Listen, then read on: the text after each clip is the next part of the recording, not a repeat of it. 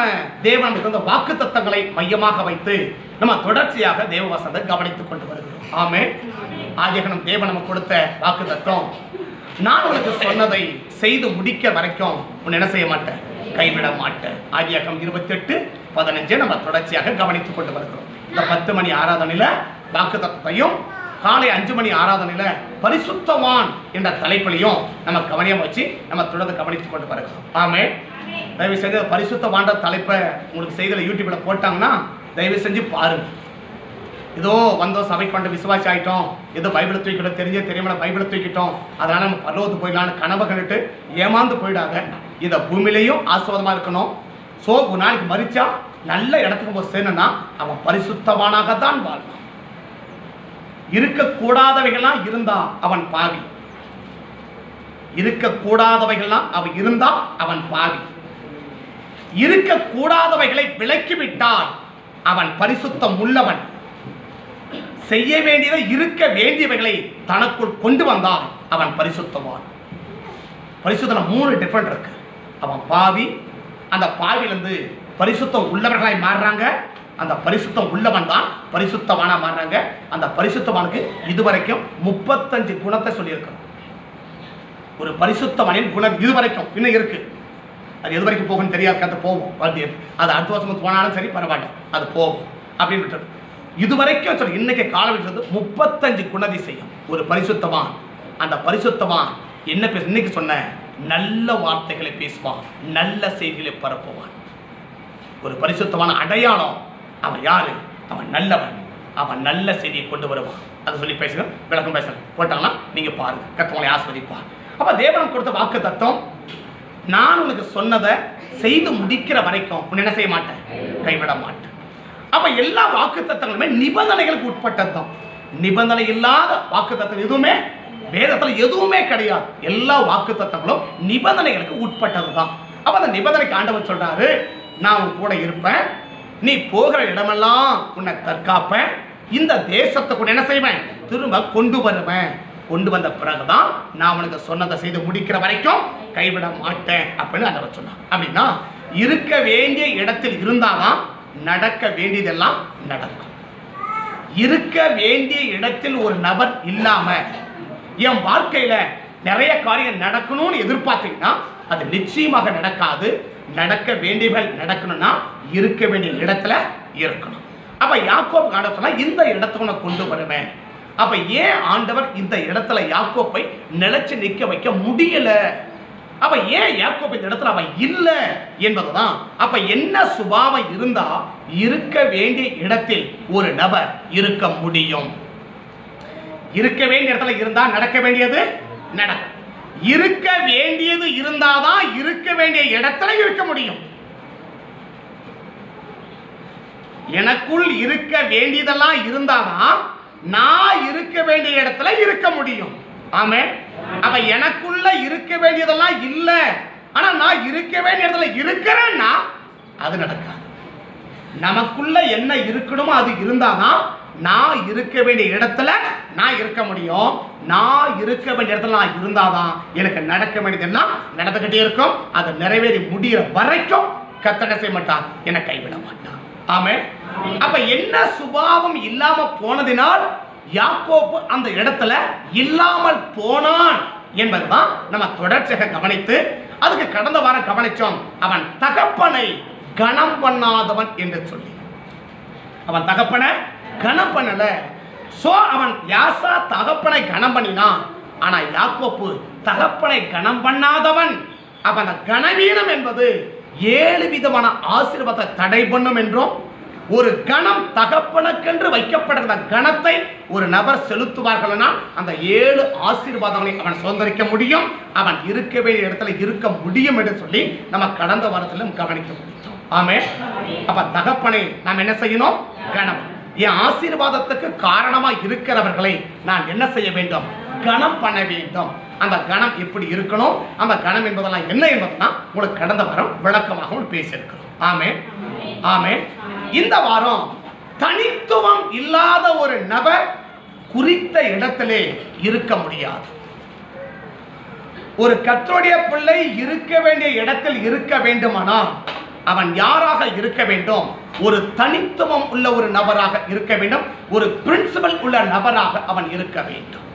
ஒரு பிரின்சிபல் இல்லாத ஒரு நபர் கத்தர் குறித்த ஸ்தலத்துக்குள் இருக்க முடியாது என்பதை இந்த காலை நேரத்திலே நாம் விலகிக் கொள்ள வேண்டும். அப்படின்னா தனி கொள்கை. இன்னைக்கு உனக்கென்ன ஒரு கொள்கை இருக்கிறதா? உனக்கு என்ன கொள்கையை மையமாக வைத்து உன் வாழ்க்கை பயணத்தை தொடர்ந்து ஓடிக்கொண்டிருக்கிற உங்களுக்கு ஒரு கொள்கை இருக்கா? உங்க வாழ்க்கைக்கு ஒரு கொள்கை இருக்கா? உங்க குடும்பத்திற்கு ஒரு கொள்கை இருக்கிறதா? அப்போ தனித்துவம் இல்லைன்னா பிரின்சிபல் இல்லாத ஒரு நபர் கர்த்தர் குறித்த ஸ்தலத்துக்குள் இருக்க முடியாது என்பதை எனக்கு ஆதாரமாக சொல்லி மூன்று விதமான ஒரு பிரின்சிபல் ஒரு தேவ பிள்ளைகளுக்கு அவசியம். மூணு இடங்களுக்கு அதை எடுத்துக்கலாம். இல்ல மூன்று விதமாக அதை எடுத்துக்கலாம். நீங்க எப்படி வேணா எடுத்துக்கலாம்.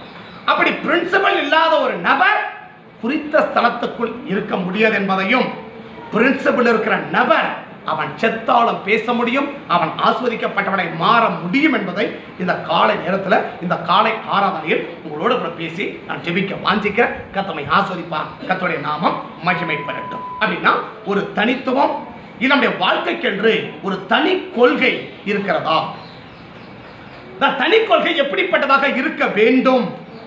அப்படிப்பட்ட கொள்கை இல்லாத ஒரு நபர் தேவன் குறித்த ஸ்தலத்தில் இருக்க முடியாது. அப்படின்னா இந்த ஆண்டவர் ஆராதிக்கிறதுக்குன்னா எத்தனை பேருக்கு ஒரு பிரின்சிபல் இருக்கு?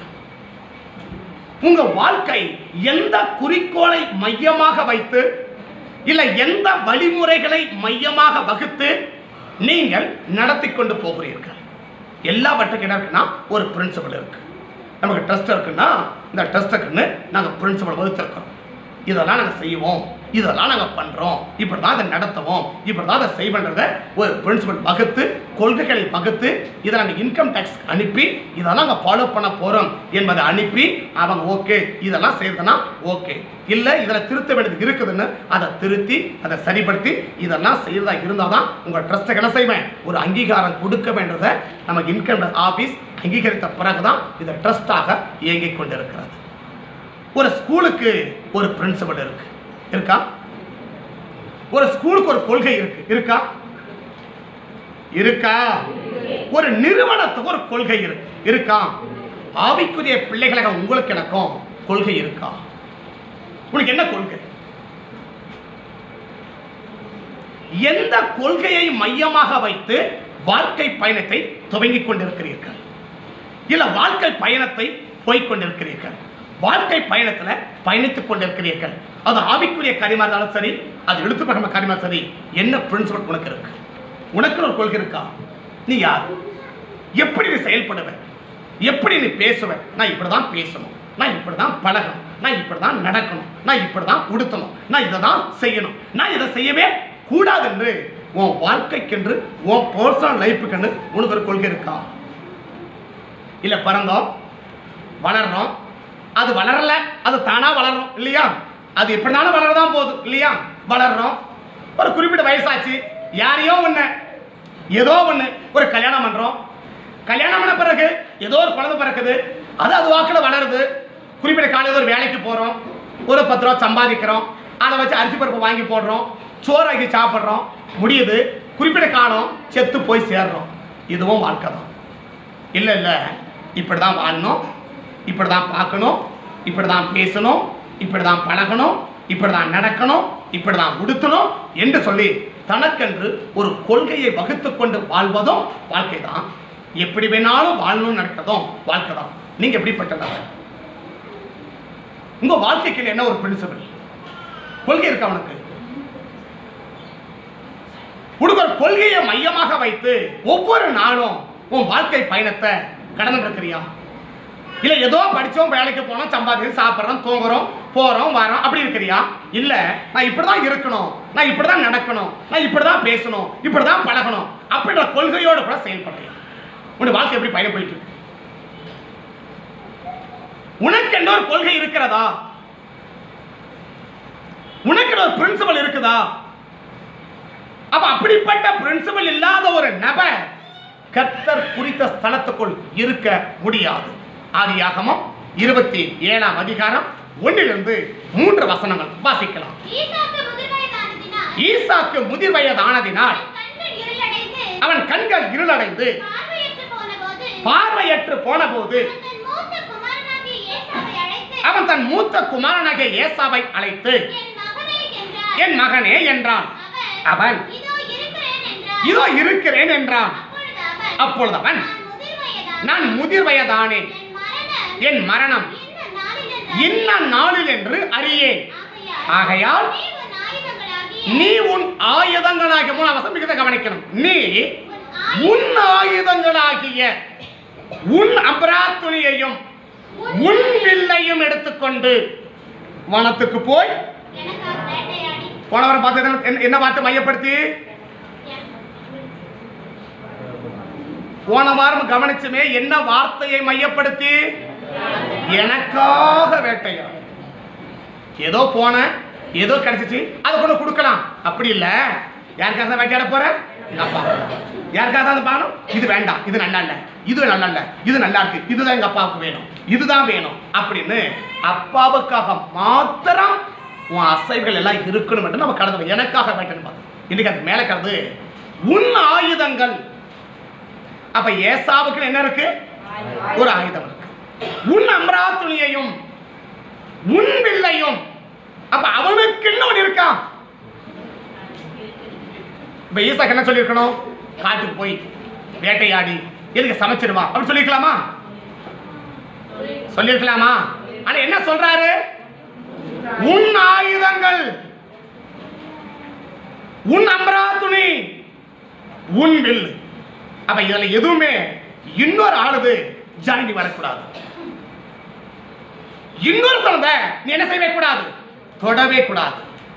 உன்னுடைய அம்பு உன்னுடைய ஆயுதம் உன்னுடைய அம்பராத்தி அப்படின்னா அவனுக்குன்னு ஒரு காரியத்தை வச்சிருக்கிறான். வச்சிருக்கிறனா? சரி இதை கேட்ட உடனே அம்மா சின்ன மகனை கூப்பிட்டா கூட்ட உடனே சொன்னா நீ என்ன செய்? நீ ஆட்டு மந்திக்கு போ. அப்படின்னு சொல்லும்போது ஆறாம் வசனம் படி ஆறாம் வசனத்துல ரெபெக்கா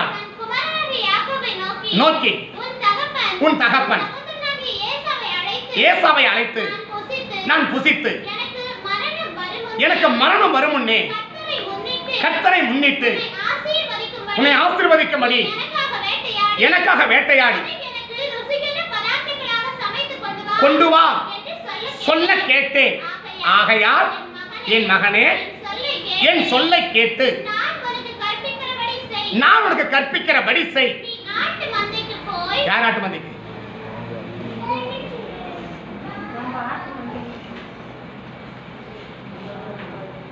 நீ ஆட்டு மந்தைக்கு போன அந்த ஆட்டு மந்தை யாருது? எக்ஸ் ஒய் அது அப்பாவதா இருக்கலாம் அது அண்ணனதா இருக்கலாம் அது மாமாவதா இருக்கலாம் அது மச்சன் யார் வேணாலும் இருக்கலாம். அப்படியா? இப்ப அம்மா என்ன சொல்லியிருக்கணும்? உன் ஆட்டு மந்தைக்கு போன்னு சொல்லியிருக்கணுமா? அப்படின்னா அவனுக்கு என்ன ஒன்றும் இல்லை. உனக்கு என்ன இருக்கா? ஆமா மூணு செட் இடம் இருக்கு. வச்சுக்க பத்திரமா. உனக்கு என்ன இருக்கு? ஆ ஒரு வீடு இருக்கு. தலைமையில வச்சுக்கோ. இறங்கி வைக்காத தலைக்கு மேலே வச்சுனர் எனக்குன்னு ஐம்பது பொன் நகை இருக்கு. ஆமா. அப்படி கழுத்தில் கட்டி அது இப்போ லேப்ல வச்சு பார்த்தீங்களா? அப்போ அது அப்படியே போட்டு வீட்டுக்குள்ளே போட்டு எல்லாம் போட்டு அப்படியே வீட்டுக்குள்ளேயே சுத்தும் சரியா? எனக்கு என்ன உதவாது? வெளியில் போனால் பிடிக்கிறான் என்ன பண்ண? வெளியில போனா? வெளியில போனால் பிடிக்கிறேன் என்ன பண்ண? அதனால என்ன பண்ணு? வீட்டுக்குள்ளேயே போடு. கண்ணாடிக்கு முன்னாடியே சுற்றி அப்படியே வச்சுனாரு உனக்குன்னு என்ன இருக்கு? அவனுக்குன்னு அவன் ஆயுதம் இருக்கு. அமராத்துணி இருக்கு அமராத்துணி இருக்கு. அவனுக்கு ஒரு பில்லு இருக்கு. இருக்கா? உனக்கு என்னப்பா இருக்கு? உனக்குன்னு என்ன இருக்கு? நான் அதான் சொல்றேன். உனக்குன்னு என்ன கொள்கை இருக்கு? அவன் போனான் அவன் ஆயத்தை எடுத்தான் அவன் அம்பராத்துணை எடுத்தான் அவன் பிள்ளை எடுத்தான் அவன் போயிட்டே இருக்கிறான். இல்லையா? உனக்கு அம்மா சொன்னாங்களே மந்தைக்கு போன்னு. யாருடைய மந்தைக்கு போக போற? உனக்குன்னு ஒரு மந்தை இருக்கா? உனக்குன்னு ஏதாவது இருக்கா? நான் தான் கேட்கிறேன் உனக்குன்னு என்ன கொள்கை இருக்கு? உனக்கு என்ன பிரின்சிபல் இருக்கு? எதை மையமாக வைத்து வாழ்க்கையை நடத்திட்டு இருக்கிற? வேலைக்கு போகணும் சாப்பிடணும் தூங்கணும் திரும்ப வேலைக்கு போகணும் சாப்பிடணும் தூங்கணும் ஞாயிற்றுக்கிழமானா ஊர் சுத்தணும் வெள்ளிக்கிழமானா உலகம் சுத்தணும் லீவுனாக்க வேகத்துக்கு தோல் மட்டும் போயிட்டே இருக்கணும். இல்லையா? இதுவும் வாழ்க்கை தான். நம்ம எங்கே போகணும். நம்ம அங்கே போகக்கூடாத. நம்ம சேர்ந்தது என்ன? நான் யாரு? நான் எப்படிப்பட்ட ஆள்? நான் எப்படி நடக்கணும்? எப்படி உடுத்தணும்? எதை சாப்பிடணும்? எதை சாப்பிடக்கூடாது? எதை உடுத்தணும்? இருக்காங்க ஏதாவது? என்னங்க கொள்கை? உன் கொள்கை என்ன? உன் பிரின்சிபல் என்ன? எப்படி பேசணும்? கொள்கை இருக்கா? நீ எப்படி பேசணும்? கொள்கை இருக்கா? நீ எப்படி பார்க்கணும்? கொள்கை இருக்கா? எப்படி உடுத்தணும்? கொள்கை இருக்கா? கத்தர் படைச்சதெல்லாம் நன்மைக்கு எல்லாவற்றையும் ஆண்டு அனுபவிக்க தான் கத்தர் என்ன பண்ணார்? எல்லாத்தையும் படைச்சிருக்கிறார். அலையில கொட்டி அதுக்கு தான் படைச்சிருக்கிறார். அரைச்சு குடி. அலைவி கொட்டி அதுக்கு தான் அடைச்சிருக்கிறார் படைச்சு குடிப்பா. அலைவி கொடி யார்? பிசாசா படைச்சான் அலைவி கொடி யார் படிச்சது யாரு? பிசாசா? ஆப்பிள படிச்சது யாரு? கொடி படிச்சது யாரு? ரெண்டு அவர் தான் படிச்ச அரைச்சு குடியே. என்னய்யா கொள்கை? ஏதோ பிறந்தோம் ஏதோ வளர்ந்தோம் ஏதோ போறோம் வரோம் உட்காரோம் படுக்க என்ன கொள்கை? அது இருக்கா? அவனுக்கு சொல்றாரு உன் அம்பரா துணி எடு உன் உன் ஆயுதத்தை எடு. அப்ப அவனுக்கு ஒரு ஆயுதம் இருக்கு இருக்கா? அவனுக்கு ஒரு அம்பரா துணி இருக்கு இருக்கா? அவனுக்கு ஒரு வில்லு இருக்கு இருக்கா? யாப்பா இப்ப உனக்கு என்ன இருக்கு? நாற்பது வருஷம் ஓட்டிட்ட இல்லையா? வயசாகி போச்சு? ஏழு கலந்த வயசாகி போச்சு. என்ன சாதிச்சது என்ன? வயசு எவ்வளவு? நாற்பது ஆகி போச்சு. கல்யாணம் நாலு பிள்ளை தகப்பனாக இருப்ப. என்னய்யா கொள்கையை மையமாச்சு போடுற? என்ன கொள்கை? அது அம்மா பாத்திரம் எடுக்க சொன்னாங்க எடுத்து கொடுத்தேன். அம்மா கூடு சொன்னாங்க கூடுகாசனை அப்பாங்க அப்பா அங்க போய் சொன்னாங்க போய் வந்தேன். அம்மா அங்க பசங்க போய் வந்தேன் என்னய்யா கொள்கை? கொள்கை இருக்கா? உனக்குன்னு ஒரு கொள்கை இருக்கா? உனக்குன்னு ஒரு மந்தை இருக்கா? உனக்குன்னு ஒரு ஆடு இருக்கா? உனக்குன்னு ஒரு ஆட்டுக்கடா இருக்கா? உனக்குன்னு ஒரு ஆட்டுக்குட்டி இருக்கா? என்னய்யா கொள்கை? அது அப்படிலாம் பார்த்தா எப்படி? அப்படியே போவோம். அப்படியே வருவோம். அப்படியே சாப்பிடுவோம். அப்படியே தூங்குவோம். அப்படியே பச்சேரு மனவாசிக்கு நாற்பது வருஷமா எங்க இருக்கிற? குணசாலி கூடாரத்துக்குள்ள இருக்கிற. என்ன பிரயோஜனம்? நாற்பது வருஷம் கூடாரத்தில் உட்கார வச்சு உனக்கு சொல்லி கொடுத்து சொல்லி கொடுத்து வளர்த்தாலும் என்ன பிரயோஜனம்? என்ன கொள்கை இருக்கு? ஏதாவது இருக்கா? படிக்கிற பள்ளி கொள்கை இருக்கா? கொள்கையோட படிக்கிற படம் மேலே போயிட்டே இருக்கு. இல்லையா? அது எங்கள் அம்மா ஸ்கூலுக்கு போக சொன்னாங்க. என்னது?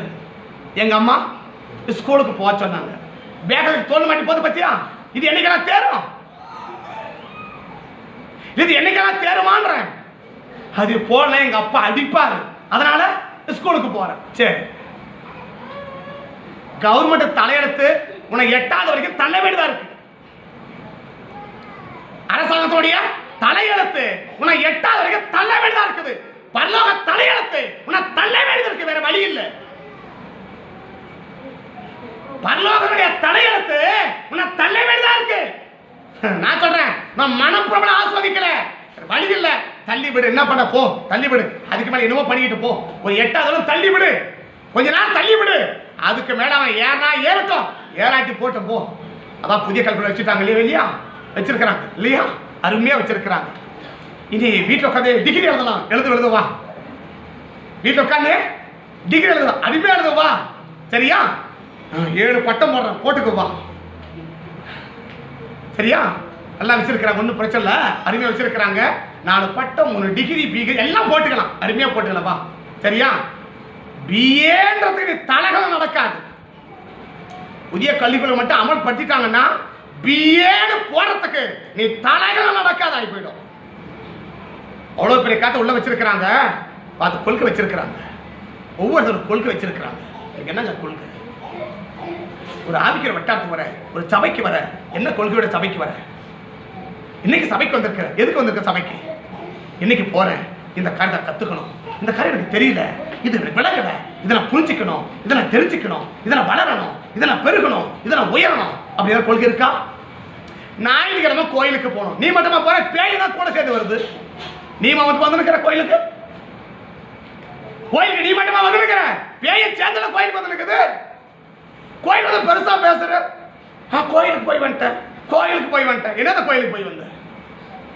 எதுக்கு கோயிலுக்கு போய் வந்த? கோயிலுக்கு போய் என்ன நோக்கத்துக்கு போன? இன்னைக்கு என்ன கத்துட்டு பாப்பாரு நீ கோயிலுக்கு வந்தியப்பா என்ன கத்துட்டு வெளியில பாப்பாரு அப்படின்னு இருக்கா?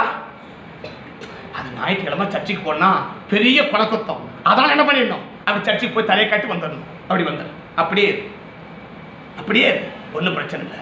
ஒன்று புரிஞ்சுக்கோங்க. தனிப்பட்ட ஒரு கொள்கை இல்லாத ஒரு நபர் கத்துடைய சமூகத்தில் அவன் தேவன் குறித்த ஸ்தலத்துக்குள் அவன் இருக்க முடியாது என்பதற்கு மூணு கதை சொல்லி தெரிவிக்கிறேன் அப்ப நீங்கள் நான் யாரா இருக்குன்னா ஒரு தனித்துவம் உள்ளவர்களாக இருக்கணும். ஒரு தனிப்பட்ட கொள்கை உடையவர்களாக இருக்கணும். அந்த தனிப்பட்ட கொள்கைக்கு உலக சார்ந்ததில் நான் சொல்றேன். எப்படிப்பட்ட கொள்கை இருந்துச்சு? அப்படிப்பட்ட கொள்கை இல்லாதவன் குறித்த ஸ்தலத்துக்குள் இல்லை அப்படிப்பட்ட கொள்கை உடையவன் தான். அந்த குறித்த ஸ்தலத்துக்குள் இருக்க முடிந்ததற்கு மூன்று காரியத்தை ஆதி அகமதின் புஸ்தகம் நாலாம் அதிகாரத்தை மையமாக வைத்து மூன்று காரியத்தை நான் வேகமாக சொல்லி நான் ஜெபிக்க வாசிக்கிறேன் ஆதி அகமதின் புஸ்தகம் நான்காம் அதிகாரம். ஆதி அகம் புஸ்தகம் நான்காம் அதிகாரம். முதல் பத்து வசனங்களை வாசிக்க வேண்டும் பெரிய பகுதி. இப்போ வாசிக்க வேண்டாம். நான் சொல்றேன் கா- உங்களுக்கு தெரிஞ்ச பகுதி. அப்படின்னா இங்க ஆதாம் ஏவா காயின் ஆபி. நாலு பேர் தான் இருக்காங்க இல்லையா? ஒரு தேவனுடைய பிள்ளைகளுக்கு இருக்க வேண்டிய முதல் கேட்டகரி ஒரு சபைக்குள் நீ எப்படி நடந்து கொள்ள வேண்டும் என்ற பிரின்சிபல் உனக்கு இருக்கணும். ஒரு திருச்சபைக்குள் நீ எப்படி நடந்து கொள்ள வேண்டும் என்ற ஒரு பிரின்சிபல் உனக்கு இருக்கணும். ஒரு கொள்கை இருக்கணும். சபைனாக்க ஏதோ வரேன் ஏதோ போறேன் எங்கேயோ உட்கார்றேன் எங்கேயோ நடக்கிறேன் என்னமோ பேசுறேன் என்னமோ பாடுறேன் என்னமோ ஆராதிக்கிறேன் என்னமோ கேட்குறேன் என்னமோ எழுதுறேன். அது அல்ல ஒரு திருச்சபைக்குள் நீ எப்படி நடந்து கொள்ள வேண்டும் என்ற ஒரு கொள்கை உனக்கு இருக்கா?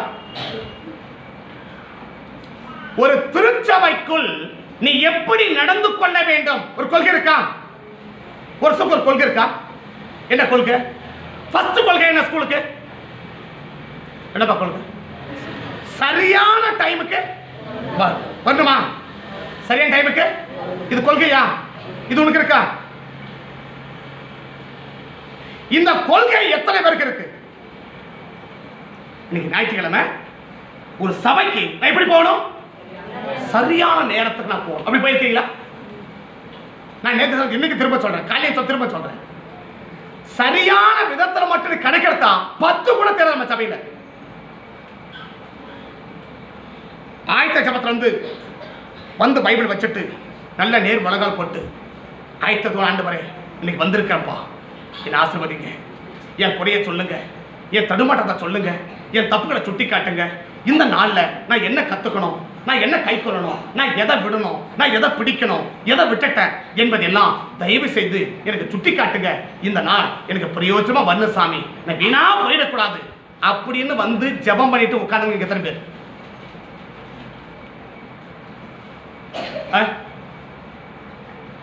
இப்படி வந்து உட்கார்ந்து ஜெபம் பண்ணிட்டு ஆலயத்துல உட்கார்ந்தவங்க எத்தனை பேரு? புதுசா தான் விட்டுருங்க. நீ எத்தனை சபை விசுவாசி நீ ரட்சிப்பட எத்தனை வருஷம் ஆகுது? நீ ரட்சிக்கப்பட்டு எத்தனை வருஷம் ஆகுது? சபையில எத்தனை வருஷம் குப்பை கொட்டுற. எத்தனை வருஷம் ஆகுது ரட்சிக்கப்பட்டு? வந்து உட்காந்து மலநாள் படி ஜோம் சபையில வந்த உடனே முழங்கால் படி ஜோமனியா அந்த பழக்கம் இருக்கா? அந்த பழக்கம் இருக்கா? ஃபர்ஸ்ட் ரவுண்ட் அவுட் நீ. உட்கார்ந்து நல்ல பாட்டு புக்கு திறந்த வச்சு நல்ல கையை தட்டி நல்ல மனப்பூர்வமா எத்தனை பட பாட்டு புக்கு இருக்கு? எத்தனை பேர் கிட்ட பாட்டு புஸ்தகம் இருக்கு? நாங்க வந்தா தானே? நாங்க பாடினா தானே? கொள்கை இருக்கா? ஒரு திருச்சபைக்குள்ள எப்படி நடந்து கொள்ள வேண்டும் என கொள்கை இருக்கா? அடுப்பு இருக்கா? எத்தனை பேரு? நான் உண்மையா? நல்ல கண்களை மூடி அவன் ஜோம் எத்தனை பேர்? பாரத்தோட நம்ம ஜோம் அப்படியே ஜோமனுங்க எத்தனை பேர்? கொள்கை இருக்கா? ஆராதிக்கணும். கண்களை மூடி ஆவி நிரம்பி மனப்பூர்வமா நம்ம ஆராதிக்கணும். கொள்கை இருக்கா? பிரசங்க நேரம். நடுத்து நோட்டு திறந்து வச்சு சொல்ற வேத வசனங்களை அழகா நோட் எழுதி அதுக்கு ஒரு ரெஃபரன்ஸ் எழுதி உட்கார்ந்து அண்டவரே இப்ப நான் இருக்கிறனா சாமி? இதுல குறை இருக்குதா? என் நிறைவு இருக்கா? என்பதை நோட்டை வச்சு அலசி ஆராய்ஞ்சு பார்த்து சொல்றத குறிப்பெடுத்து அர்ப்பணிச்சு இந்த தப்பு என்கிட்ட இருக்கு சாமி. இதை சரி பண்ணுங்கப்பா. இது என்கிட்ட இல்ல. இது எனக்கு செய்யறதுக்கு கிருப கொடுங்க. அப்படின்னு அந்த நோட்டை வச்சு அர்ப்பணிச்சு ஜெபிச்ச அனுபவம் இருக்கா? என்ன அனுபவம்? என்னங்க கொள்கை? சபை மாமிய விடா? சமூகம் உங்க வீடா. மாமியார் வீடு என்ன கிடையாதான் நான் போல நீங்களா போயிருப்பீங்க இல்லையா? நீங்களாம் போயிருப்பீங்க எங்களை கூட்டுறது இங்கே மாமியார் நடப்பிருக்க தலைவலி இருக்குது அவங்க கூட்டலாம் உங்களுக்கே போயிருப்பீங்க? மாமியார் வீட்டுக்கு எப்படி போயிருப்பீங்க? மாமியார் வீட்டில் போயிட்டு அப்படி கால் நட உட்காந்து ஆள் இருக்கிறீங்களா அப்படி காலை நீட்டி அப்படி கையை நீட்டி அப்படி படுத்து மாமியார் வீட்டுக்கு போனால் எட்டு மணி வரலும் தூங்கலாம். என்ன கேட்பாங்களா? ஐயோ மருமகம் வந்திருக்கிறாரு. நேத்து நேத்து ஒரு நேத்து நேத்து ஒரு நியூஸை பார்த்தேன். நூத்தி இருபத்தி எட்டு வகை சாப்பாடு வர மருமகனுக்கு அடா சாமி. நூத்தி இருபத்தி எட்டு வகை. இன்னும் வர வேண்டிய மருமகனுக்கு வந்த மருமகனுக்கு இல்ல. வர போற மகள் மகனுக்கு நூத்தி இருபத்தி எட்டு வகை சாப்பாடு. அடா சபை எதுங்க? மாமியா வீடா? இஷ்டமோல வந்து இஷ்டமோல உட்கார்ந்து நம்ம சபையில இப்படிதான் உட்காரணும். அப்படி ஒரு பிரின்சிபல் அப்படி இருக்கா? உன்னை யாரும் சொல்ல கட்டாயப்படுத்ததில்ல. உனக்கு அப்படி ஒரு கொள்கையை வகுத்திருக்கிறியா? நம்ம சபைக்குள்ள போனா இவன் நேரத்துக்குள்ள போயிடணும். இப்படி நம்ம பாட்டு பாடணும். இப்படி நம்ம ஜோமணும். இப்படி நம்ம ஆராதிக்கணும். இப்படி நம்ம நோட் எடுக்கணும் இப்படி நம்ம அர்ப்பணிக்கணும். இப்படி நம்ம காணிக்க போடணும். இப்படி நம்ம அரசாங்கணும் இப்படி பண்ணிட்டு அந்த ஒரே ஸ்தோத்திரப்பான்னு இது வரைக்கும் நடத்தி வந்தீங்களே சாமி. உமக்கு நன்றியப்பான்னு சொல்லி ஜெபத்தை முடிச்சிட்டு வெளியில போனவங்க எத்தனை பேர்? சபைக்கு என்னல்ல? எப்போ வேணாலும்? எப்போ வேணாலும்? நான் சொல்றேன். ஸ்கூலுக்கு அனுப்புகிறோம் இல்லையா? பணம் நம்ம தான் கட்டுறோம் கட்டுறோமா? கட்டுறோமா? என் பிள்ளைங்க வாட்ச் பார்த்துட்டே இருக்கிறான். வாட்ச் பார்த்து இந்த காலேஜ் பத்து வந்தா ஆறரை மணி வரை தாக்கு பிடிக்கிறான். ஆறரை மணிக்கு மேலே. எண்ணி பார்க்குறான் வாட்சியும் பார்க்குறான் எண்ணி பார்க்குறான் வாட்சியும் பார்க்குறான் ஆறே முக்கால் ஆச்சுனா அவன் முகத்தை பார்க்கணுமே? அவங்க அம்மா பக்கம் திருப்பறா இவளை பக்கம் திருப்பறா பார்க்குறான் ஆறு ஐம்பத்தஞ்சுனா போச்சு அவ்வளோதான் முகத்துல எள்ளு படம் அடிச்சிடும் எதுக்கு? எதுக்கு? ஏழு மணிக்குள்ள சொல்லுவா ம- ஏன்னா ஏழு மணிக்குள்ள உள்ள குழப்ப உடனே அவ்வளோதான்றான் ஏழு மணிக்குள்ள? ஏழு மணிக்குள்ள என்னை கொண்டு போய் கேட்டுக்குள்ள விடனா அவ்வளோதான் இல்லையா? நீ வந்து பர்மிஷன் கார்டு வாங்கி கொடு. நான் போக மாட்டேன். அஞ்சு நிமிஷம் லேட்ட வானா என்ன கார்டு வாங்கணுமாங்க? என்ன கார்டு வாங்கணும்? நம்ம பிள்ளைகளை கடன் வாங்கணும் எங்க படிக்க வைக்கணும்? தப்ப நான் சொல்லல குறைய சொல்ல கத்தோட ஆஸ்வதிக்கணும். உன் நல்லா படிக்கணும். அங்க பிரயாசப்படணும். அஞ்சு நிமிஷம் லேட்டா போனா பர்மிஷன் கார்டு வாங்கணும். என்ன துரத்துறா. பின்னாடி உட்காந்து வேகமா போ. வேகமா போ. வேகமா போன்றா. எதுக்கு? வாட்ச பார்த்துட்டே இருக்கிறான். டைம் ஆயிடுச்சு. டைம் ஆச்சு. ஏழு மணிக்கு அந்த பெல் அடிச்சானா? கேட்டை க்ளோஸ் பண்ணுறான் எழுது. எவ்வளோ நேரத்துக்கு நீ வந்தான்னு எழுது. மூணு நாள் லேட்டாக போனால் பனிஷ்மெண்ட் இருக்குது. இப்படி ஒரு பனிஷ்மெண்ட் அங்கே வச்சிருந்தாக்க இங்கே எத்தனை உள்ள வந்து உட்காந்துருப்ப இந்த சபைலனா அந்த சபை. அந்த சபைலனா அந்த சபை. சபையை மாற்றலாம் குணத்தை மாற்ற முடியுமான்னு பாரு. சபையை மாற்றலாம் சபையை மாத்துறது ஈஸி குணத்தை மாற்றுறது கஷ்டம். சபையை மாற்றுறது ரொம்ப ஈஸி குணத்தை மாற்றுறது எத்தனை பேர் ஐயோ டைம் ஆச்சு டைம் ஆச்சு. சரி பிள்ளைய விட்டுடுங்க. ஏழு மணிக்கு வேணும் நீங்கள் இப்போ ஏழு ஆறு ஐம்பது ஆயிடுச்சு. இப்பதான் லஞ்சு போட போகிறீங்க என்ன பண்ணுவீங்க? பொறுமையாக உட்காந்து அதுக்கு மேலே போய் பாக்ஸ் எடுத்து கழுவி அதுக்கு மேலே சாப்பாடு பொறுமையாக போட்டு ஏழு பத்துக்கு நான் வந்து நிற்குவேன் அப்படி வருவியா? என்ன பண்ணுவேன்? அந்த நேரத்தில் வந்து பார்க்கணும். ஏழு கை வந்துடுது இல்லையா? இதில் பேக்க தூக்குறாங்க இதில் பையன் தூக்குறாங்க இதில் புள்ளியா தூக்குறாங்க இதில் தூக்குறாங்க. அப்படி இடத்துல ஓடுறாங்க. ஒரு ஸ்கூலுக்கு பிள்ளைய அனுப்புறது ஒரு பிரின்சிபல் இருக்குல்ல சபைக்கு ஒரு பிரின்சிபல் இருக்கா? எவன ஞாயிற்றுக்கு ஞாயிற்றுக்கிழமை அதனால எவ்வளோ கிளம்பலாம் பத்து மணி கிளந்தாலும் தப்பே கிடையாது. சர்ச்சி ஒரு மணி தான் முடிய போகுது. அதனால பதினோரு மணிக்கு போனாலும் பிரச்சனை கிடையாது. ஆமாம். பன்னெண்டு மணிக்கு போனாலும் பிரச்சனை கிடையாது. ஏன்?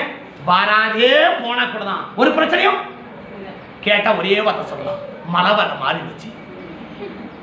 ஜுரம்னா கை வச்சு பார்க்கலாம். வயிற்று வலினா? ஜுரம்னாக்கா கை வச்சு பார்க்கலாம். இல்லையா? ஜுரம் அடிக்கிற மாதிரி இருக்குன்னா இல்லையே. ஜில்லு இருக்குது இல்லையா? வயிற்று வலிக்குதுன்ட்டா கை வச்சு பார்க்க முடியும். வயிற்று வலியை எந்த கரிகாலை வச்சு கண்டுபிடிக்க முடியுமா? ஆ? சொல்லுங்க கை முடியுமா? சரி இங்க வேலைக்கு போற அநேக பிள்ளைங்க இருக்கிறீங்க. உங்களுக்காக கத்திரக்கு ஸ்தோத்திரம். சரியா? குறிப்பிட்ட நாள் வயிற்று வழின்னு பழக்கிறீங்க இல்லையா? அன்னைக்கு நீங்க வேலை செய்யற கம்பெனியில இன்னைக்கு முக்கியமான மீட்டிங் இன்னைக்கு மீட்டிங் அட்டன் பண்ணலாம் உனக்கு ப்ரொமோஷன் கட்டு. அதான் சொல்றேன் பதினஞ்சாயிரம் ரூபாய் இன்க்ரிமெண்ட் கட்டுன்றாங்க. எத்தனை பேர்? எனக்கு வயிற்று வழி பதினஞ்சாயிரம் இன்க்ரிமெண்ட் போனா பரவாயில்ல அப்படின்னு உட்காருங்க. ஆ? உட்கார மாட்டியா? உட்காரு உட்கார. மாசம் மாசம் இதுக்கு சம்பளத்துல பதினஞ்சாயிரம் ரூபாய் இன்னைக்கு அட்ட மீட்டிங் அட்டன் பண்ணாதான் உனக்கு மாசம் மாசம் பதினஞ்சாயிரம் ரூபாய் சம்பளத்தை கூட்டுவேன். இன்னைக்கு மீட்டிங் அட்டன் பண்ணா பதினஞ்சாயிரம் ரூபாய் சம்பளத்தை கூட்ட மாட்டேன் அப்படின்னு கம்பெனி நிர்வாகம் சொன்னா எத்தனை சகோதரிகள் எத்தனை சகோதரர் வேலைக்கு போய் கட் பண்ணிட்டு அது பதினஞ்சாயிரம் மாசம் கிடைக்கலாம் பரவாயில்ல நீ பதினஞ்சாயிரம் குறைச்சாலும் பரவாயில்ல நான் லீவு லீவு தான் எத்தனை பேர் படுப்பேன். அதுக்கு வரிஞ்சு கட்டி உட்கார்ந்து முடியுதோ முடியல உட்காரல. ஏன் பதினஞ்சாயிரம் போயிருமே. பதினஞ்சாயிரம் போயிருமே. இங்க உள்ள எவ்வளவு போயிருக்குன்னு தெரியல உனக்கு. தமிழ் ஒரு பழமொழி தெரியுமா? மிளகு போறது தெரியாதான் கடுகு போறத கணக்கு கடுகு போகுது எப்பா இந்த கடுகோட பண மடங்கு பெருசு மிளகு அது போய் நிற்குது தெரியல அது உனக்கு. இல்லையா? மழை ஊத்துது. எத்தனை பேரு இல்ல இன்னைக்கு போனாக்க இன்னைக்கு கண்காட்சி சம்பளம் கட் ஆயிடும் அதனால வேணாம். லாஸ் ஆஃப் எத்தனை பேர் லாஸ் லீவ் போடுவேன் பிரின்சிபல் இருக்காங்க பிரின்சிபல் இருக்கா? சபனை என்ன அர்த்தம்? எப்படி வேணாலும் போகலாம் எப்ப வேணாலும் வரலாம். எப்படி வேணாலும் நிக்கலாம். எப்ப வேணாலும் முடிஞ்சா தோக்க விட தூக்க தூக்கிடலாம் நம்ம பண்ணலாம் தூக்கம் வந்தா அப்படியே ஆள் ஐட்டான் ஆள் மணி உட்காந்தா போதும். இல்லையா? ஒரு ஐட்டான் ஆள் மணி உட்காந்தா பின்னாடி அவனுக்கு பிரச்சனையே கிடையாது. என்னது? அப்படியே கொஞ்ச நேரம் ஆழ்ந்த உறக்கத்துக்குள்ள பவுல் சொன்னார் இல்லையா? மூணாவது மணவரில் போய் வந்தானு அப்படி மூணாவது மணவரில் போயிட்டு அப்படி வந்து அப்படி முடிச்சுட்டு உட்காந்து என் ஆத்மாவே நம்ம கையெழுத்தி பேச்சுக்கலாம் தலைச்சு பிரச்சனை இல்லைங்க. பிரின்சிபல் இருக்கா? ஒரு சபைக்குள்ள எப்படி நடந்துக்கணும்? ஒரு சபைக்குள்ள எப்படி பேசணும்? ஒரு சபைக்குள்ள எப்படி நடந்து கொள்ளணும் ஒரு சபைக்கு எப்படி உடுத்தணும்? பிரின்சிபல் இருக்கா? போன வாரம் கேட்டேன். எத்தனை பேர் ஞாயிற்றுக்கிழமைக்கு கணம் இருக்குன்னு இல்லையா? ஞாயிற்று எத்தனை பேருக்கு தனி உடை இருக்கு? பைபிள்கள் எத்தனை பேர் தனி பேக் இருக்கு? ஞாயிற்றுக்கிழமைக்கு தனி. ஸோ கணம் என்ன? உன் கணம் என்ன? அப்படி இருக்கா? நம்ம சபையாச்சே. அது என்ன சபை? அது பெந்தகோஸ் சபை. என்ன கேட்க மாட்டாங்க? கேள்வியே கிடையாது. பெந்தகோஸ் சபை இருக்குல்ல? கேள்வியே கிடையாது. பன்னெண்டு மணிக்கு போனாலும் என் ஆத்மாவே கதை ஸ்தோத்திரம் எப்படி போகலாம் தெரியுமா? சர்ச்சுக்கு போயிட்டு வந்துட்டேன். வருத்தமா இல்லை? வேதனையா இல்லை? துக்கமா இல்லை? ஒரே ஒரு மணி நேரம் ஆராதனை அட்டன் பண்ணிட்டு நான் ஆராதனையை முடிச்சேன். இன்னைக்கு ஆராதனைக்கு போய் வந்தேன்னு சொல்றியே. துணிகரமா சொல்றியே. நான் சொல்றேன் நான் பூசல நான் பூசல ஒன் ஹவர் ஆராதனைக்கு வந்துட்டு ஏதோ சரி கடமைக்கு வந்து உட்கார்ந்துட்டு போய் நான் சர்ச்சைக்கு போயிட்டு வந்தேன்னு சொல்றியே. நான் பூசலங்க. ஒரு சர்ச்சில் எப்படி நடந்துக்குன்னு ஒரு பிரின்சிபல் இல்லையா? உனக்கு நான் சொல்றேன். உனக்கு நான் வகைய வேண்டியதில்லை. உனக்கு ஒரு கொள்கை வச்சிருக்கிறேன் நீ. அதான் நான் கேட்கறது. இங்க வந்து இப்படிதான் உட்காரணும். இப்படிதான் பார்க்கணும். நான் உனக்கு சொல்றதில்ல. உனக்கு கொள்கை வகுத்து கொடுக்கல. பட் உனக்கு ஒரு கொள்கை இருக்கா? நான் சர்ச்சுக்கு போனா நான் இப்படிதான் இருப்பேன். நான் இப்படிதான் பார்ப்பேன் இப்படிதான் பாடுவேன் இப்படிதான் ஜெபிப்பேன் இப்படிதான் ஆராதிப்பேன் என்ற சொல்லக்கூடிய உனக்கென்று சபையை குறித்து ஒரு கொள்கை வகுத்து வச்சிருக்கிறியா? அப்ப சபைக்குள்ள ஒரு கொள்கை இருக்கணுமா? அதை பார்த்தோம் இல்லையா? ஆதியாகமம் நாலாம் அதிகாரம் ஒன்பதாம் வசனம் பத்தாம் வசனம். கர்த்தர் காயினை நோக்கி இப்ப நான் சொல்றது இது எங்க? ஸ்பிரிச்சுவல் ஸ்பிரிச்சுவல் இல்லையா? ஒரு சபைக்குள்ள ஒரு மனிதனுக்குடைய ரெண்டு பேருக்குடைய கொள்கை. ஆபேலுக்கு ஒரு கொள்கை இருக்கு காயினுக்கு ஒரு கொள்கை இருக்கு. ஆபேலுடைய கொள்கை என்ன? காயினிடம் எந்த கொள்கை இல்லாம போச்சு? அதான் நீங்க சொல்றேன் முதல் சாட்டை சொல்றேன் இப்ப சொல்றாரு ஒரு சபைக்குள்ள உள்ள கொள்கை எப்படி? இப்ப அந்த சபை. அங்க யார் நிக்கிறா? தேவன் இருக்கிற இடத்துக்கு என்ன பேரு? சபை. தேவன் இருக்கிற இடத்துக்கு என்ன பேரு? இப்ப அந்த சபைக்குள்ள அங்க நடக்க நிகழ்வுகள். இப்ப கத்தர் காயினை நோக்கி உன் சகோதரனாகிய ஆபேல் எங்கே என்றார். உன் சகோதரனாகிய ஆபேல் எங்கே என்றார்? அதற்கு அவன், அதற்கு அவன் நான் அறியேன். இது பொறுப்பான செயலா? பொறுப்பற்ற செயலா? நான் ஏற்கனவே உங்களுக்கு சொல்லியிருக்கிறேன். புல்பிட்டு வந்தா எனக்கு காது கம்மியா தான் கேட்கணும். இல்லையா? கீழே வந்தா நல்லா கேட்கும். இங்க வந்த மட்டும் காது கம்மியா கேட்கும். அதனால எனக்கு சத்தமா சொன்னதான் எனக்கு கேட்கும். பொறுப்பற்ற செயலா? பொறுப்புள்ள செயல். பொறுப்பற்ற யார் மட்டும் நோடி நிக்கிறது யார்? நம்ம கேட்கற கேள்வி கேட்கறது யார்? யாருக்கு முன்னாடி நம்ம நிக்கிறோம்? யார்கிட்ட எப்படி பதில் சொல்றோம்? அப்படின்ற ஒரு பிரின்சிபல் யாருக்கு இல்லைன்னா ஒரு சபைக்குள்ள எப்படி நடந்து கொள்ள வேண்டும்? ஒரு சாதாரண போலீஸ் ஸ்டேஷனுக்குள்ள லுங்கி கேட்டு போனா வெளு வெளியும் எடுக்கிறான் இப்படி போனா? லுங்கி கேட்டு போனா. இல்லையா? சபைக்கு என்ன வரலாம் லுங்கி கேட்டு வரலாம்.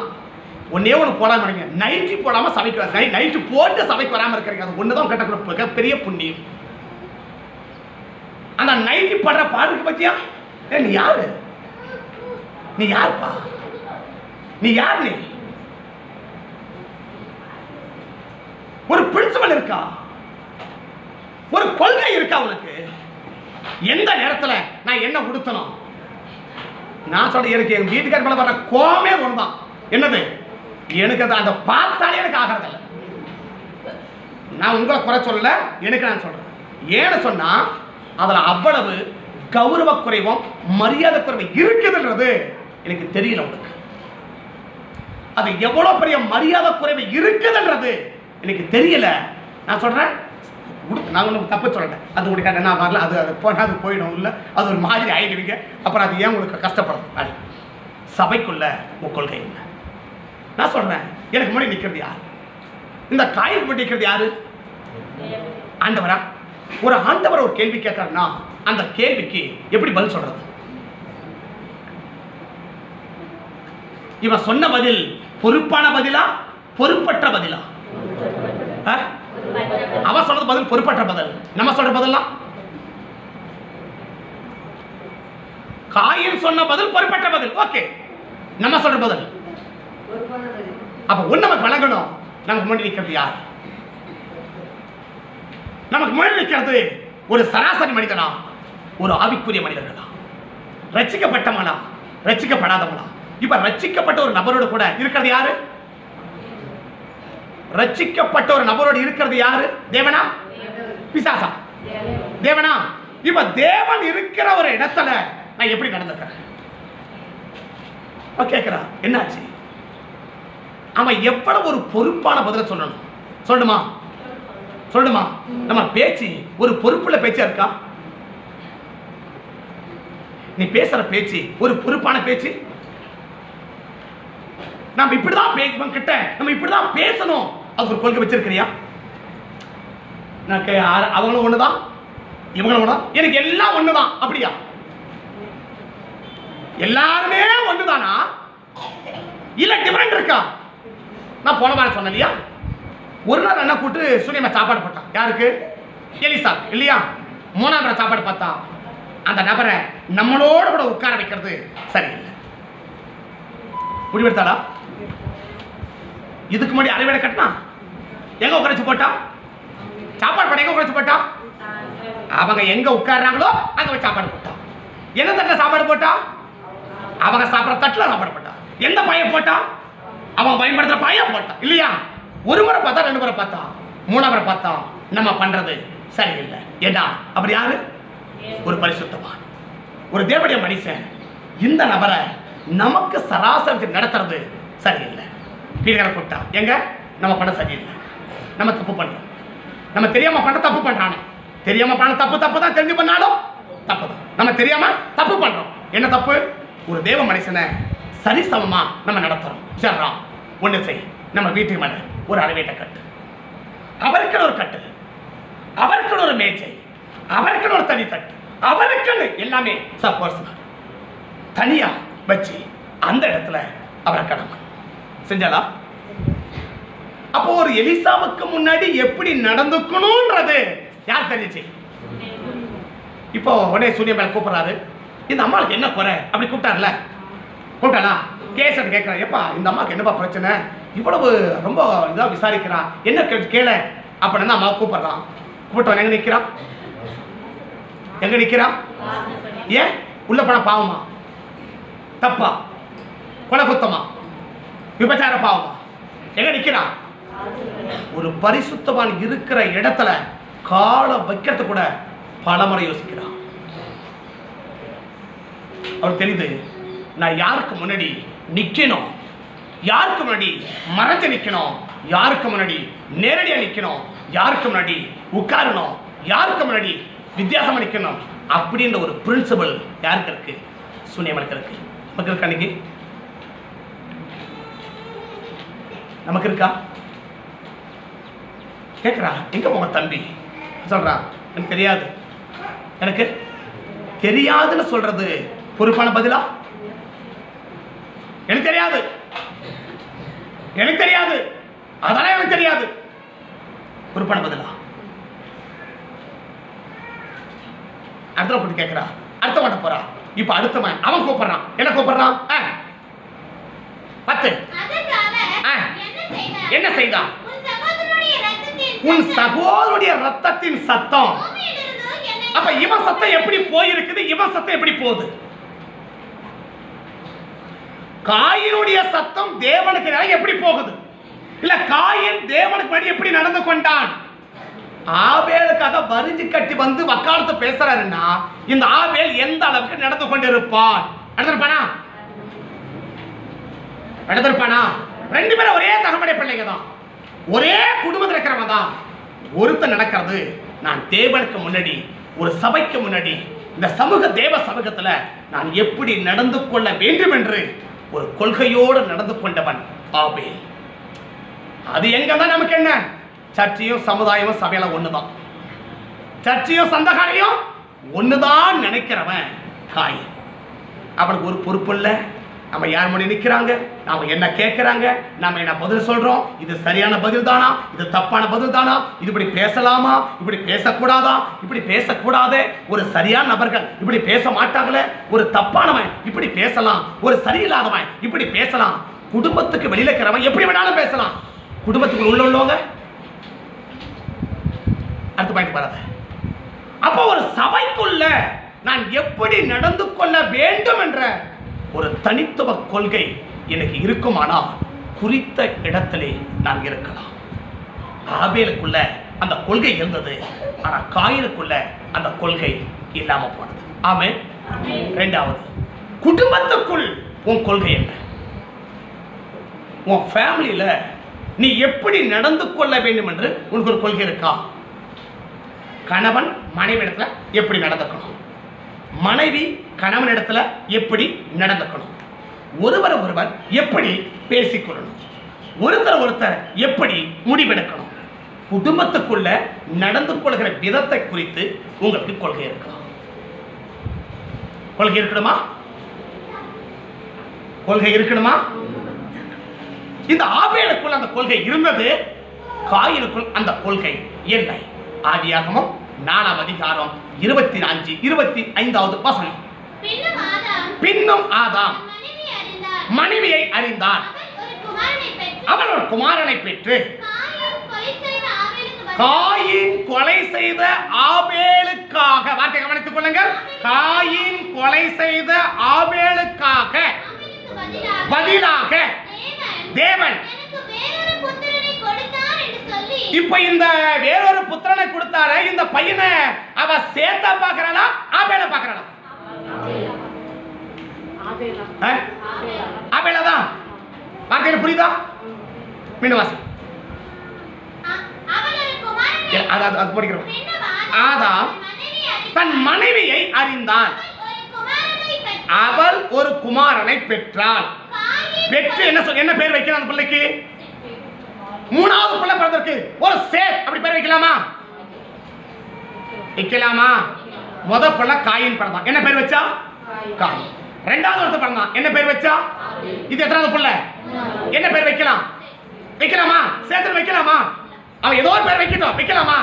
ஆனா என்னன்னு பேர் வைக்கிறான் காயின் கொலை செய்த ஆவேலுக்கு பதிலாக தேவன் எனக்கு ஒரு குமாரனை கொடுத்தார் என்று சொல்லி அப்ப இவனை பார்க்கும் போதெல்லாம் அவன் எப்படி பார்க்கறான்? ஆபேலதான் பார்க்கறானே தவிர அவனை யார பார்க்கல? அவன் மூணாவது பிள்ளைய பார்க்கல. இவன் ரெண்டாவது பிள்ளை ஆபே. இவன் ரெண்டாவது பிள்ளை ஆபே. இவன் ரெண்டாவது பிள்ளை ஆபே. அப்படின்னா ஒரு தகப்பனிடத்திலும் தாயிடத்திலும் எப்படி நடந்து கொள்ள வேண்டும் என்ற கொள்கை ஆபேலுக்கு இருக்கிறது ஆமாவா ஆமாவா? வணக்கம் சொல்றது? ஒரு குடும்பத்துக்குள்ள கொள்கை இருக்கா? சரி இப்ப காயின் செத்து போயிட்டா உயிரோட இருக்கிறான்? மேலக்கு ரெண்டு வசனம் படி. இருபத்தி மூணுல இருந்து படி. லாமேக்கு. பார்த்து. பார்த்து ஆதாளே. சில்லாளே. நான் சொல்வதை கேளுங்கள். லாமேக்கின் மனைவிகளே என் சத்தத்துக்கு செவி கொடுங்கள் எனக்கு காயம் உண்டாக ஒரு மனுஷனை கொன்று எனக்கு தழும் உண்டாக எனக்கு தழும் உண்டாக வாலிபனை கொலை செய்து ஒரு வாலிபனை கொலை செய்தேன். காயினுக்காக சுமரமானால் இவன் காயின் கொலை செய் லாபேன் கொலை செஞ்சது யார?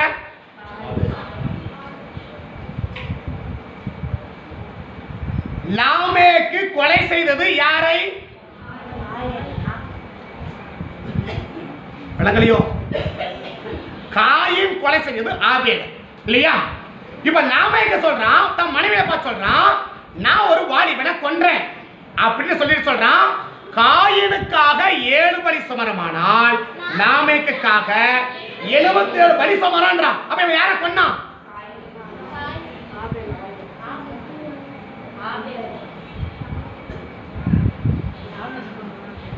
நாமேக்கு கொன்றது யாரை? புரியலையா? காயின்னு ஆவேல கொன்னட்டான். அந்த சாப்டர் முடிஞ்சு போச்சு. இப்ப காயினை கொல்றது யாருன்னா யாரு? லாமேக்கு. யார் கொல்றது? லாமேக்கு காயினை கொல்றான். கொல்றானா? இப்ப மகன் செத்து போயிட்டானா? மூத்த மகன் செத்து போயிட்டானா? இப்ப பெத்த தாயா அது? ஆ? ஒரு சொல் கண்ணீர் வடிக்க வேணாம் பிள்ளைக்காக. என் சின்ன பையனுக்கு மட்டும் ஐயோ என் மகன் சின்ன மகன் செத்து போயிட்டான். அவனுக்காக. இப்ப இப்ப ரெண்டு மகனை செத்து போயிட்டான். ஏ ஆதாமுடைய ரெண்டு பசங்க செத்து போயிட்டா ஒருத்தன் தான் செத்து இருக்கிறானா ரெண்டு பேர் செத்து போயிட்டாங்களா? இப்ப அம்மா மூத்த மகனான காயின். அவன் தான் முத முத பிறந்தவன். இந்த மூத்த பிள்ளைங்களா கொஞ்சம் பாசம் அதிகமா இருக்க பாத்தீங்கன்னா அம்மா இருக்கலாம் யார் மேல? இந்த மூத்த பிள்ளைங்களா கொஞ்சம் பாசம் அதிகமா தான் இருக்கு பாத்தீங்களா? ஆமா தானா?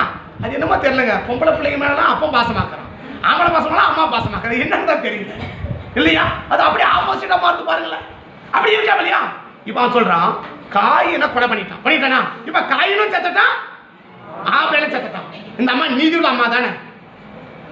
ஆமாவா உலகத்துல பெரிய பாசம்? சொல்லல. நீங்க தான் சொல்றீங்க பாத்துக்கோ சரியா? அம்மா பாசம் இல்லையா? இந்த அம்மா மூத்த மகன் செத்தான. ஐயோ என் மூத்த மகன் செத்த காயினுக்காக கர்த்தர் எனக்கு ஒரு பிள்ளையை கொடுத்தான். இவனுக்கு சேர்த்துன்னு பேர் வைக்கிறேன். வச்சிருக்கலாமா? வச்சிருக்கலாமா? ஆனா அம்மா என்ன செய்வே இல்லை? செத்து ஒளிஞ்சானா? விடு. ஏன்? அப்ப இந்த கா- எப்படி வாழ்ந்திருக்கிறான்னா என்னுடைய தகப்பனையும் தாயையும் அவர்களுக்கு பிரியப்படுத்தி இல்ல அவர்களுக்கு பிரியமான வாழ்க்கையை வாழணும்னு வாழ்ந்தவன் ஆபே. அப்பா கோ- என்ன? அம்மா கோவப்பட்டா என்ன? அம்மா சந்தோஷப்பட்டா என்ன? அப்பா ஏன் சந்தோஷம் தான் முக்கியன்னு வாழ்ந்தவன் காய். குடும்பத்துக்குள்ள காயனுக்குள் என்ன இல்லை? ஒரு பிரின்சிபல் இல்லை. இங்க வந்திருக்க எத்தனை பேருக்கு குடும்பத்துல என்னுடைய அப்பாவும் அம்மாவும் எனக்கு பிரியமா வாழ் இவன் யாரு? மூத்த மகன். அப்படியா மகன் யாரு மகன்? பெரியவனா? பெரியவனா? ஆமாவாங்க. காயில் பெரியவனா? அந்த பெரிய மகன் பாதிப்பட்டு செத்து போயிருக்கான கொலை பண்ணி போட்டாங்களே. அந்த பெரிய மகனுக்காக ஒரு சொட்டு கண்ணீர் சரி கண்ணீர் வடிக்க வேணாம். என் மூத்த மகன் காயம் சத்தத்துக்காகவும் என் இளைய மகன் ஆபேல் சத்தத்துக்காகவும் கர்த்தர் ரெண்டு பேருக்கு சேர்ந்து ஒரு குமாரனை கொடுத்தார். அவனுக்கு சேத்துன்னு பேர் வைக்கிறேன். தப்பா? ஆ? பாவமா? மூத்த மகனை நினைச்சு கூட பார்க்கலவன். இங்க எத்தனை பேரை அப்பமா நம்ம நம்ம இருக்கணும். நமக்கு ஒரு பாதிப்புனா ஐயோ என் பிள்ளைக்கு ஒரு பாதிப்பாமேன்னு எத்தனை பேருக்கு ஹார்ட் அட்டாக் வரும். சொல்றது விளங்குதா? தப்பா சொல்லல. அந்த அளவுக்கு பாசம் நான் சொல்றேன். ஒரு பிள்ளைக்கு ஒண்ணுனா ஐயோ என் பிள்ளைக்கா! அப்படின்னு எத்தனை அப்பா அம்மா அப்படி நெஞ்ச கை வைப்பாங்க. யார் மேல கை வைப்பாங்க தெரியுமா? இந்த ஆபை எப்படி வந்திருக்கிறான் என் தகப்பனும் தாயும் என் வாழ்க்கையில பிரியப்படணும் பிரியப்படுத்தல பிரியப்படணும். இன்னைக்கு பிரியப்படுத்த ட்ரை பண்றோம் இல்லையா? இன்னைக்கு சொன்ன ஒரு கத்திரிக்கு சொல்றேன். யோபா யோபா வேஷம் போட்டான். யோவாஸ் இன்னைக்கு வேஷம் ரொம்ப அழகா இருக்கு. வேஷம் எப்படி இருக்கு? சூப்பரா இருக்கு. என்ன வேஷம்? ஆவிக்குரிய வேஷம். ஸ்பிரிச்சுவல் வேஷம். சூப்பரா இருக்கு. வேஷம் எவ்வளவு பெரிய ஆபத்து தெரியுமா? ஆளை நாற்பது வயசுல கூட விடல. காலி பண்ணிடுச்சு. அருமையான மனுஷன். உண்மையான மனுஷன். நேர்த்தியான மனுஷன். ஆவிக்குரிய வாழ்க்கையில வேஷம் மட்டும் உதவாதுங்க. ஆவிக்குரிய வாழ்க்கைக்கு வேஷம் மட்டும் உதவாது. மூத்த மகன் காயின் செத்திருக்கிறான். ஒரு வார்த்தை கூட செத்தானேன்றத கூட யார் நினைக்கல? யார் நினைக்கல? அப்பாவும் நினைக்கல. அம்மாவை நினைக்கல. ஏன்? அந்த அளவுக்கு தகப்பனுக்கும் தாய்க்கும் பிரியமில்லாத வாழ்க்கை வாழ்ந்தவன் காயின். நான் சொல்றேன் செத்தா கூட பரவாயில்ல. நான் எப்படிதான் வாழ்ந்தோம் என் தகப்பனுக்கும் தாய்க்கும் பிரியமான வாழ்க்கையை வாழணும் என்ற கொள்கையோடு வாழ்ந்தவன் ஆபே. உன் கொள்கை என்ன இன்னைக்கு? குடும்பத்தில் உன் கொள்கை இருக்கா? குடும்பத்தில் கொள்கை இருக்கா? கணவனிடத்துல நான் இப்படிதான் இருக்கணும். மனைவி இடத்துல இப்படிதான் இருக்கணும். அப்படின்ற ஒரு கொள்கை இருக்கா? சபையிலையும் கொள்கை இல்லை. குடும்பத்திலையும் கொள்கை இல்லை. எப்படி வாழ்ந்துட்டு இருக்கிற? உனக்கு ஒரு பாதிப்பு உன் தகப்பனின் தாய்க்கம் ஒரு தாக்கத்தை ஏற்படுத்துமா? அப்படின்னா காயின் இல்லாம ஆவேலும் சாரி காயின் இல்லாம ஆதாம எவ்வளவு வாழ்ந்துடுறாங்க? அப்படியா? ஆனா ஆபேல் இல்லாம அவன் என்ன செய்ய முடியல? வாழவே முடியல. அந்த துக்கத்தை வந்து வெளியே வரவே முடியல. ஐயோ என் பையன் இல்லையே. ஐயோ என் பையன் இல்லையே. ஐயோ என் பையன் இல்லையே. யாரை பார்த்து? ஒரு பிள்ளை பிறந்துச்சோ இல்லையோ? அது ஆம்பளை பையன் சொன்னாங்களா இல்லையோ? உடனே சொல்றா. என்னன்னு? நான் செத்து போன என் பையன் சின்ன மகன். ஆபேலுக்கு பதிலா கர்த்தர் எனக்கு ஒரு ஆம்பளை பிள்ளை அப்படியே கொடுத்தாரு. அப்படி நினைச்சு அவர் கொடுத்தாரு. அவன் நினைவல்லாம் பிறக்கிறதெல்லாம் என் சின்ன பிள்ளை. பிறக்கிறதெல்லாம் ஆவியல் தான். பிறக்கிறதெல்லாம் ஆவியல் தான். ஏன்? அந்த அளவுக்கு குடும்பத்துல ஒரு தாக்கத்தை ஏற்படுத்தி வாழ்ந்திருக்கிறான் ஆபேல் குடும்பத்துல எந்த ஒரு தாக்கமே இல்லாமல் வாழ்ந்திருக்கிறான் காயன். இன்னைக்கு குடும்பத்துல வாழ்க்கை எப்படி இருக்கு? இன்னைக்கு குடும்பத்துல உன்னை நினைக்கணும்னா என்ன நினைக்கலாம்? நினைக்க முடியுமா? சபையில் உன்னை நினைக்கணும் என்ன நினைக்கலாம்? ஐயோ இவங்க இப்படி எல்லாம் இருப்பாங்க சபையில. இவங்க இப்படி எல்லாம் செயல்படுவாங்க சபையில. நினைக்க முடியுமா? இவ்வளவு ஒழுக்கமா இருப்பாங்களே. இவ்வளவு உண்மையா இருப்பாங்களே. இப்படி நீதியா இருப்பாங்களே. நினைக்க முடியுமா? அப்படி நினைக்க முடியுமா? பாருங்க. குடும்பத்துல ஆபேலுக்கு ஒரு கொள்கை இருக்கு. காயினுக்கு ஒரு கொள்கையும் இல்லை. பிறந்தட்டான் அது வாட்டுக்கு வளர்றான். அது வாக்குல அப்படியே வளர்றான். வளர்ந்தா கல்யாணம் பண்ணா பிள்ளை பழச்சு ஏதோ பண்ணி போயிட்டு இருக்கான தவிர ஒரு கொள்கையோடு கூட ஒரு குடும்பத்துக்குள்ள ஒரு கொள்கை இல்லாம வாழ்ந்து கொண்டிருக்கிறவன் காயின். கொள்கையோடு வாழ்ந்து கொண்டிருக்கிறவன் ஆபேல். எந்த ஆபேலுக்காக? குடும்பமே பரிதவிக்குது. குடும்பமே ஏங்குது. குடும்பமே வாடுது. சேர்த்த பார்க்க வேணா பார்க்கறான். இவன் ஆபேல். இவன் ஆபேல். இவன் சேர்த்தல இவன் ஆபேல். இவன் சேர்த்தல இவன் ஆபேல். இவன் சேர்த்தல இவன் ஆபேல். ஏன்? அந்த அளவுக்கு ஒரு பிரின்சிபலோடு கூட வாழ்ந்தவன் இந்த ஆபேல். அதே மகனை லாமிக்கு கொண்டு போடுறான். குணபடி போட்டுட்டான். அந்த அம்மா அந்த காயில படுத்து அப்பனவும் நினைக்கல அம்மாவும் நினைக்கல அவன் எங்க கேறான்னு கூட நினைக்கல அவன் என்ன ஆனான்னு நினைக்கல. அவனை பற்றி எந்த ஒரு நினைவுகளுமே இல்லாமல் வாழ்றான். ஏன்? எந்த கொள்கையும் இல்லை. இன்னைக்கு எத்தனை பேருங்க எத்தனை பிள்ளை தாய் தகப்பனை பிரியமாய் வாழ்கிறவங்க இன்னைக்கு எத்தனை பேர்? உங்க தாய் தகப்பனுக்கு பிரியமாய் வாழ்றவங்க நீங்க எத்தனை பேர்? கல்யாணம் ஆயிடுச்சு குழந்தை வந்துடுச்சு அவ்வளவுதான். இல்லையா? நான் சகாக்களை முடியிருக்கிறதுல சொன்னேன் சாலமோன் ராஜாவாயிட்டான் அரசாட்சிக்கு போட. சாலமோன் ராஜாவாயிட்டான் அரசாட்சிக்கு போட. தாவீது செத்த பிறகுதான் அந்த அரசாட்சிக்கு போனான். அர்த்தங்கள் வித்தியாசம் உங்களுக்கு சொல்ல வேண்டாம் புரிஞ்சு போங்க அபிஷேகம் வேற அரசாட்சி வேற. அவன் அபிஷேகம் பெற்றானே தவிர அரசாட்சிக்கு போட. அப்பா இருக்கிற வரைக்கும் அப்பா இடத்த அவன் கிட்ட பண்ணிக்கல நிக்கல. அப்பா செத்த பிறகுதான் அந்த இடத்த அவன் நிற்கிறான் நீங்க எத்தனை பேருக்குங்க உன சொல்ற ஆண்கள் இருக்கிறவங்க இல்லை பொம்பளையில் இருக்கிறவங்க அவங்க இன்னொரு வீட்டுக்கு நீ போயிடுறீங்க. உங்களை விட்டு ஆண்கள் இருக்கிற நீ எத்தனை எத்தனை எத்தனை ஆண்கள் தகப்பனுக்கும் தாய்க்கும் பிரியமான ஒரு வாழ்க்கை வாழ்றவங்க. ஆனால் மனைவி வெறுத்தவங்க நான் சொல்லலை. உன் தகப்பனும் தாயும் விரும்பக்கூடிய வாழ்க்கையை நீ எத்தனை ஆண்கள் வாழ்ந்து கொண்டிருக்கிறீங்க? காயினாரு மூத்த பையன். குடும்பத்துக்கு மூத்த ஆம்பளை பையன். இல்லையா? மூத்த ஆம்பளை பையன் இருக்கிற நீ உன் தகப்பனுக்கு தாய்க்கு பிரியமா? உன் தகப்பன தாயும் உன் மேல பிரியப்படுவாங்களா? உன் செயல்பாட்டில் பிரியப்படுவாங்களா? உன் காரியத்தில் பிரியப்படுவாங்களா? வெறுப்பாங்களா? பார்த்துக்கோ. குடும்பத்தில் நமக்கு என்ன இருக்கணும்? ஒரு கொள்கை இருக்கணும். மூன்றாவது மூன்றாவது. சமுதாயம் எடுத்துக்கலாம்? பட் தான் ஒரு காரியத்தை செய்யணும்னா எப்படி செய்யணும்ன்றதுல காயின் கொள்கையற்றவன் ஆபே. கொள்கையுள்ளவன் அதை நீங்க சமுதாயத்துக்கு எடுத்துக்கலாம். அதை சமுதாயத்துக்கு நீங்க எடுத்துக்கலாம். வாசிக்கலாம். மூணாம் வசனம் நாலாம் வசனம்.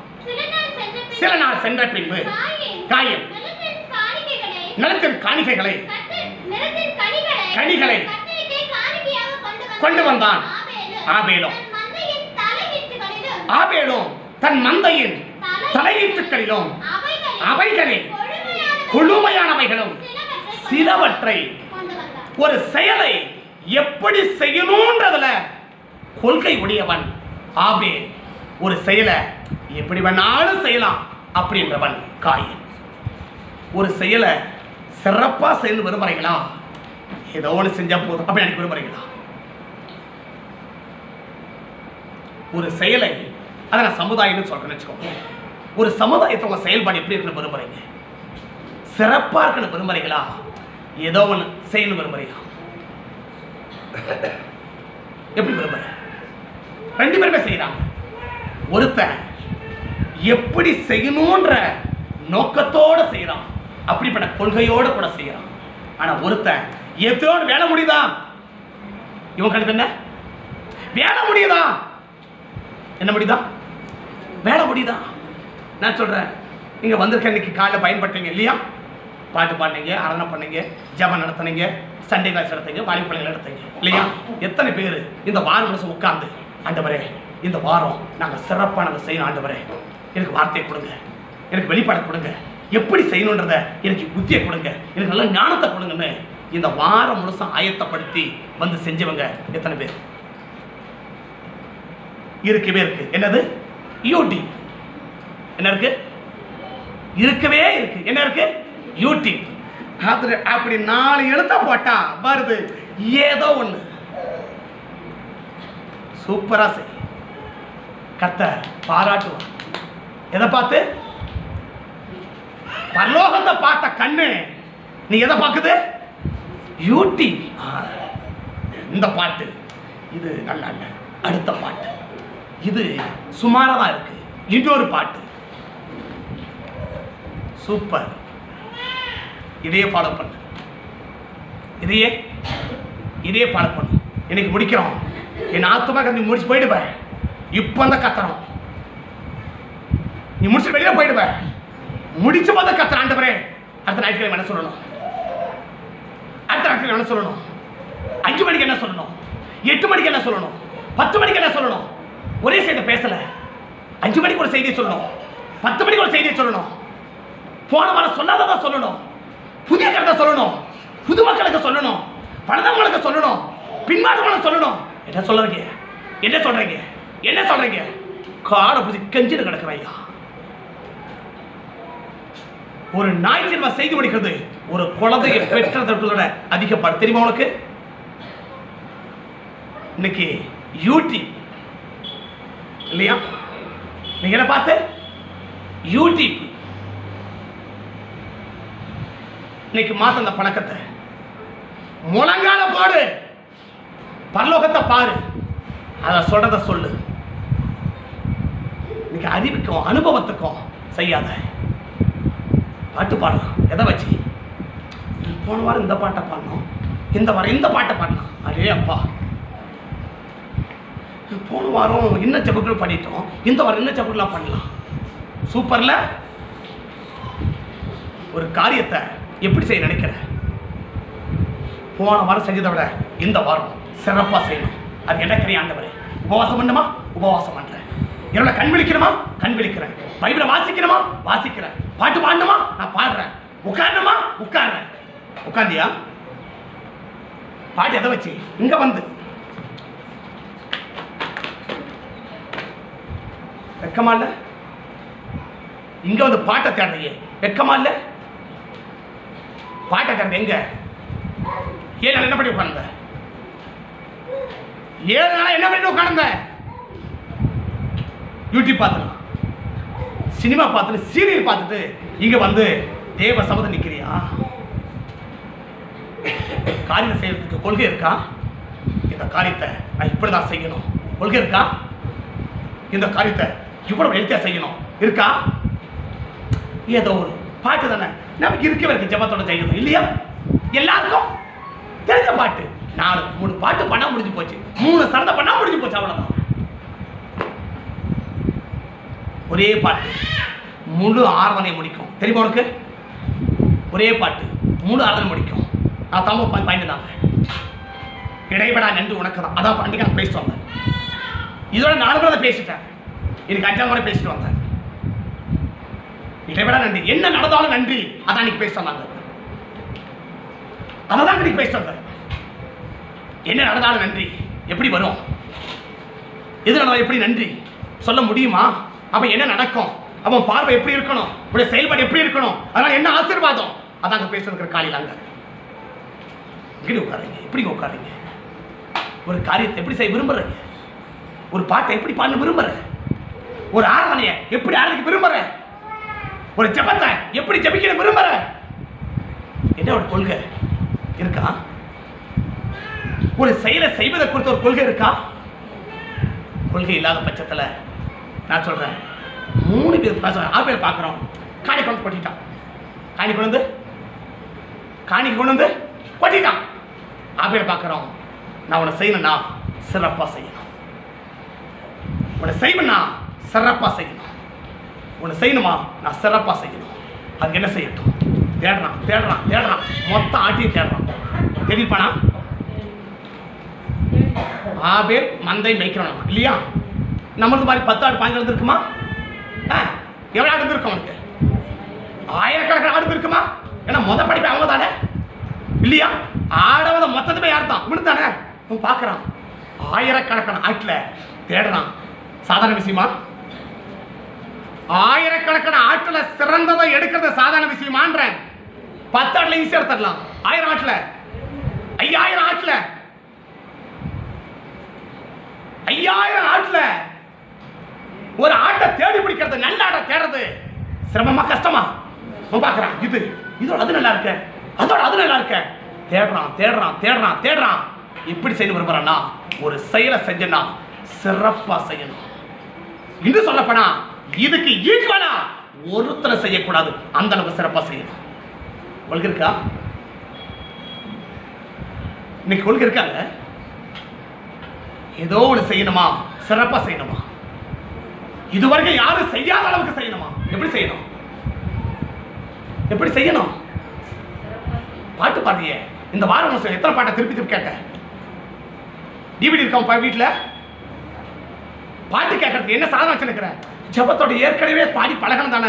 எப்போ? எங்க தாத்தா காலத்துல. இன்னைக்கு ஒரு ராகத்தை பாடிப்பார். ஜபத்தோட இன்னைக்கு ஒரு ராகத்தை பாடு. கேசிட்டு போடு. ஒரு ராகம் என்னன்னு பாரு என்ன இல்லைன்னா ஏதோ ஒண்ணு. ஏதோ ஒண்ணு. கொள்கை இருக்கா இப்படிதான் பாடணும். இப்படிதான் நிக்கணும். இப்படிதான் நான் பாடும்போது இவ்வளவு வல்லமை இறங்கணும். இப்படி அபிஷேகம் இறங்கணும். இவ்வளவு திரும்ப வெளிப்படணும். இப்படி விடுதலை ஆகணும். கொள்கை இருக்கா கொள்கை இருக்காங்க.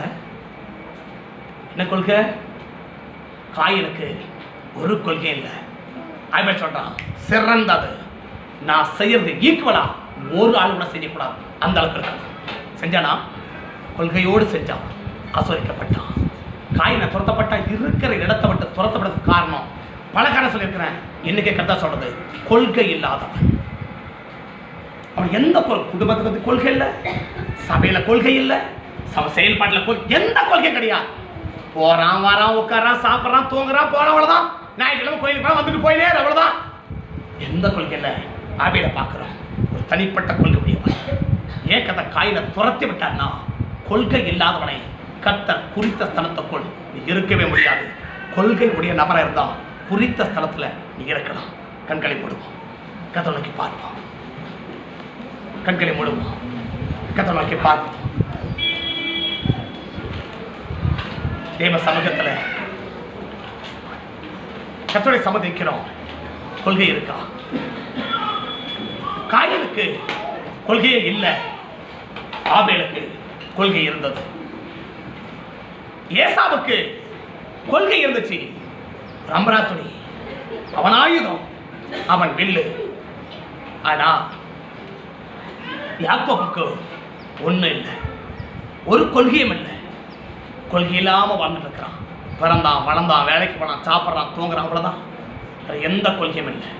நீ கொள்கை இருக்கான்னு பாருங்கள் அந்த கொள்கையோடு இன்னைக்கு வாழ்றமான்னு பாருங்க.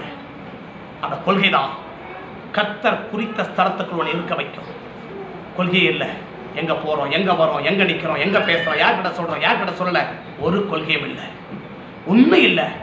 ஏதோ துறையமான ஒரு வாழ்க்கை எனக்கு வாழ்ந்திருக்கமே தவிர ஒரு ஆஸ்வதிக்கப்பட்ட வாழ்க்கைக்கு நேராக இன்றைக்கு கடந்து போவதற்கு நமக்கு விருப்பங்கள் இல்லை. பரிசுத்த பிதாவே கிருபையுள்ள கரத்தில் எங்களை தருகிறோம். உங்களுடைய ஆளுகைக்கு எங்களை அர்ப்பணிக்கிறோம். உங்களை நோக்கி நாங்கள் பார்க்குறோம். தனிப்பட்ட கொள்கை இல்லாமல் போனதுனால தான் கர்த்தர் குறித்த ஸ்தலத்துக்குள் என்னால் இருக்க முடியலன்னா இதுக்கு அர்ப்பணிக்கிறோம். இன்னைக்கு ஒப்புக் கொடுக்குறோம்.